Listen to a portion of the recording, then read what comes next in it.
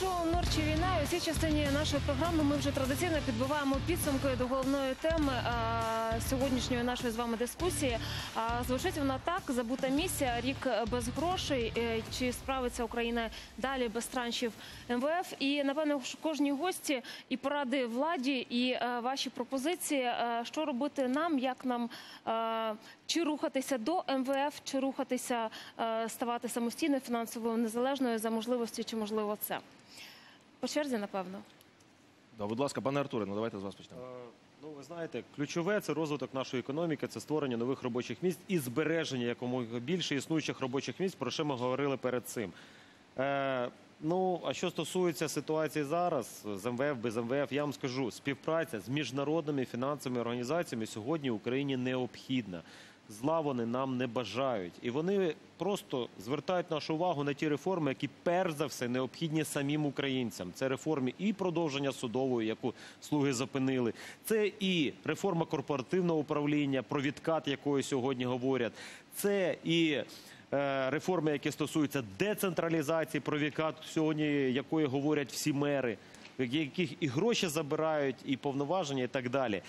Е, Але ви знаєте, в мене таке відчуття, що, на жаль, непрофесійність і недолугість тієї команди, яка сьогодні намагається впроваджувати, а точніше зупиняти ці реформи, до добра не доведе. Тому, як на мене, нам треба професійна і е, професійна влада, яку будуть поважати у світі. Зараз та влада, яка є. Да, Так, пане Тарасе, будь ласка.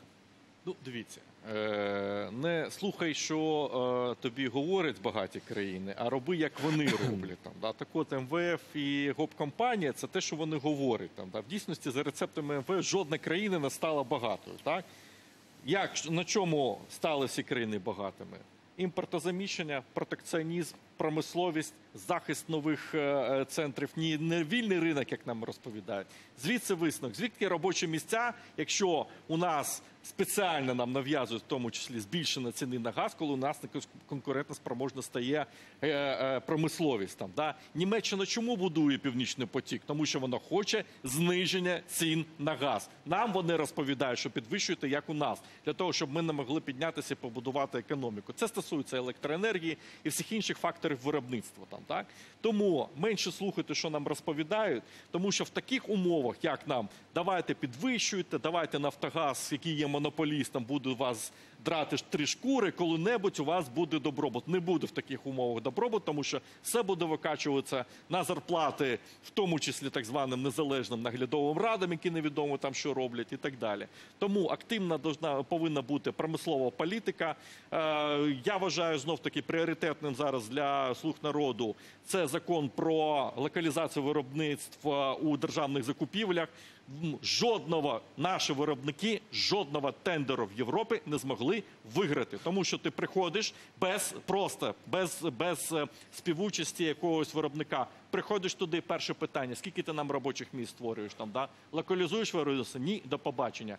Те саме повинно бути зроблено у нас, і тоді ніяких МВФів нам не потрібно, і цих порад невідомих е, так званих реформаторів, які Окей, дякую. працюють на інші країни. Пані Кіро. Рік без підтримки МВФ це перш за все реакція на відсутність реформ. Е, Що потрібно робити зараз владі? Дві конкретні речі. Перш за все, не ламати ті реформи, які вже запущені, такі як реформа корпоративного управління, дійсно. Друге, це працювати над пакетом реформ, який вже існує, який треба взяти, вносити в раду, робити, виконувати для того, щоб ми перш за все повернули довіру. Довіру не тільки МВФ, а й інших міжнародних інституцій, які будуть продовжувати інвестувати в країну, які будуть збільшувати нашу репутацію в світі. Зараз репутація дуже низька, тому що ми говоримо одне, а робимо абсолютно протилежне. Ми руйнуємо те, що якимось чином вже працювало, і влада не робить цього жодних висновків. А е, замість того, щоб продовжувати курс на реформи, тільки е, показує ширми е, і імітацію їх. Нестор Іванович. А вы вспомнили, да? Хорошо. Могу говорить? Да, да. Спасибо. Вы знаете, вы вспомнили сегодня все. Сокращение золотовалютных запасов периода 10-13 года, за 14 мы уже никак не могли отвечать. Э, Кто-то вспомнил, что не было роста ВВП. Да, действительно, рост ВВП 2013 года по сравнению с 2012 был аж 0,2.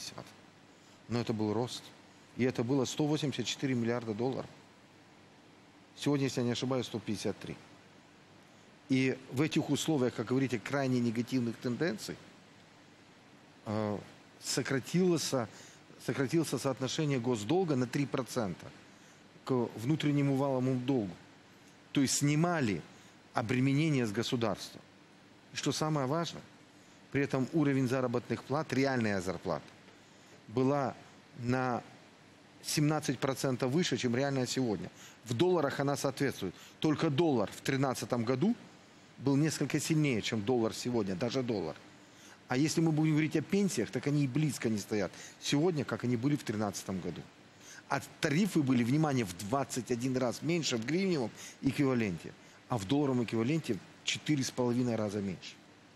И мы можем тут говорить о статистике, о развитии. И вообще, э, я удивляюсь, мы говорим, нам э, для того, чтобы получить очередной транш МВФ, надо реформировать э, систему корпоративного управления госпредприятий.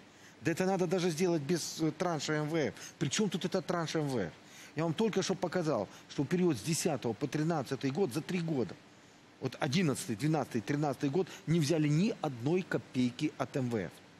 При этом погасили все внешние обязательства, извините, э, погасили все внешние обязательства, взятые действительно попередниками. Фамилии не хочу э, вспоминать. И при этом люди жили в совокупности в 6 раз лучше, чем сегодня. Вот я прошу вас, давайте уберем вот эти все графики, статистики. Сделаем так, чтобы люди получали такие доходы, чтобы могли без всяких субсидий выплачивать тарифы. Вот сделайте, Елена, хотя бы так, как было в 2013 году. А потом называйте нас банкротами, еще кем-то нас называйте. Сделайте так, чтобы люди ощутили такое внимание государства и понимание соотношения доходов и расходов, как это было в 2013 году. А потом оскорбляйте, умничайте и говорите. Україну Спасибо. зруйнували в Дякуємо дуже. 13-му році. Вас- Стоп, у вас буде а теперь можливість. про Украину, подождите. Елена, это не ваша история. Не берите на себя грехи Порошенко. Потому что вы уже превращаетесь в Порошенко. Уже нету Зеленского, нет за команды. Есть блок Петра Порошенко, в котором есть маленький Зеленский. Я не голосовал в 2019 году во втором туре за Порошенко. Я проголосовал против, я проголосовал за Зеленского. А теперь вижу, что убрав большого Порошенко, мы нашли такого маленького-маленького Порошенко в лице Зеленского. А вот в 2013 году Крым был Украиной, Донецк и Луганск был Крим і Украиной. зараз це Україна. Запросив російські Так, війська все. в Україну. Не про це Точно мова. ні. У нас Прізвище бліц. цієї Точно У ні. нас бліц. Це ваш Вибачте, будь керівник ласка, на Янукович. фіналі. Далі. Будь ласка, пане Олександр. Ну, трошки пожвавлення вже було, дякую. Е, Я про більш нудні речі, одна хвилина стисло, є. да. Так. Про нудні речі, але цікаво. Так, цікаво. Дивіться, я згоден, що нема візії. Да? Чому? Нема візіонерів, брак візіонерів. Тому в управлінську еліту треба шукати справжніх візіонерів, але з освітою, з досвідом, і такі є в Україні в усіх сферах. І я думаю, це величезний резерв. Далі було правильно сказано про робочі місця. Ну, це я робив статистику. Конкурентно спроможня для всього світу робоче місце коштує 25-24 тисячі євро. Для того, щоб конкурувати в Україні, треба десь 5-10 тисяч е, євро.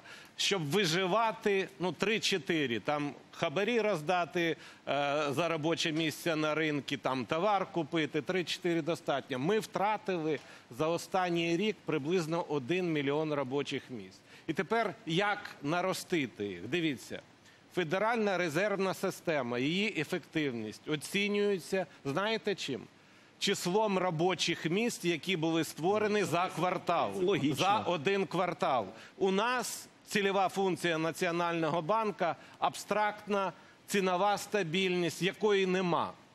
І Да. тому треба міняти цільову функцію Національного банку. Сприяння економічному зростанню, створення нових робочих місць за умови цінової і фінансової Дякую дуже. стабільності. Дякуємо. Час, колеги. Оце конкретні Перепрошуємо. рекомендації владі. Валентин Землянський. Тут будет сейчас как в советском анекдоте, все прогнило, систему надо менять.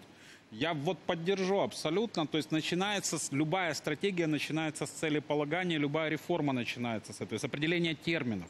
Если вы говорите об энергоэффективности, никто не мешал Верховной Раде с 2015 года принять хоть определение энергоэффективности. У нас законодательно оно не закреплено. Я открою вам вот такую вот большую, большую тайну. У нас энергоэффективность не закреплена. Виски закреплен, а энергоэффективность нет.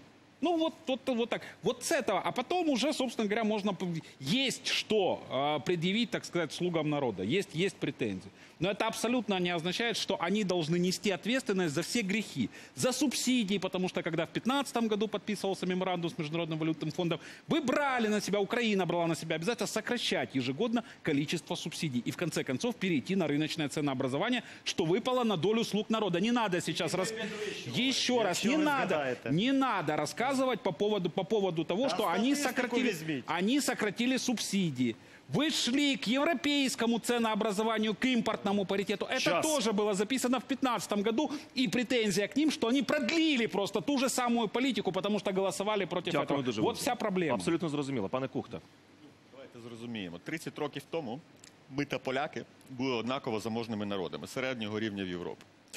Після повалу комунізму поляки в рамках програми МВФ провели швидкі реформи, потім завершили програму МВФ, завершили свої реформи. Зараз поляки лідери Східної Європи в 5 разів багатші за нас. Наші політики в цей час займалися демагогією, корупцією та відмовилися від проведення реформ. Ми тепер найбідніший народ Європи. Щоб це змінити, ми маємо елементарно, не вигадуючи ніяких велосипедів своїх, зробити те, що зробили поляки. Почати можна з того, щоб швидко виконати програму МВФ, потім провести ті реформи, які програма МВФ дійсно не забезпечить, тому що це примітивна бюрократична організація, і складні речі вони дійсно не вміють робити. І таким чином ми можемо наздогнати Польщу. Дякую. Абсолютно нічого, щоб нам не дозволяло це зробити, немає, окрім Почули. нашої Зрозуміло. власної Дякую. політики. Пані Шуляк. Я не знаю, що відчувають наші телеглядачі, коли ми більшість програми сьогодні сварилися в ефірі, згадували, як ми там добре жили в 13-му році, там в 15-му, в 18-му. Тут е, сидять народні депутати від різних фракцій. І рецепт для того, щоб е, Україна була заможною багатою, він дуже простий. Просто потрібно йти і працювати, і виконувати свою роботу, працювати в комітетах, ухвалювати законопроекти, не кидатися один в одного оцими інколи недолугими термінами, а працювати на благо нашої держави. Ну правда, в нас е, є дуже багато речей, які можна змінити, е, об'єднуючись, як, наприклад, е, сьогодні зареєстрований законопроект у Верховній Раді. 147 народних депутатів з різних фракцій і груп підписали законопроект, який стосується покращення реформи е, в будівельній сфері стосовно містобудівного контролю і нагляду. Тобто, якщо ми хочемо, ми можемо об'єднуватись. Дякуємо дуже. Дякуємо Але всім учасникам волю нашого має ефіру. хтось диктувати, і хтось має бути орієнтиром в цій країні, щоб і люди, і е, опозиція, і влада розуміли, е, який у нас курс і куди ми рухаємося. Ми дякуємо гостям нашої студії. Дякую, що сьогодні прийшли. Це так шоу наступної «Мирчі війна». Юрій Бібік, Катерина Лисенко. Дякуємо. 21.30 НТ. Наступна п'ятниця. Залишайтеся.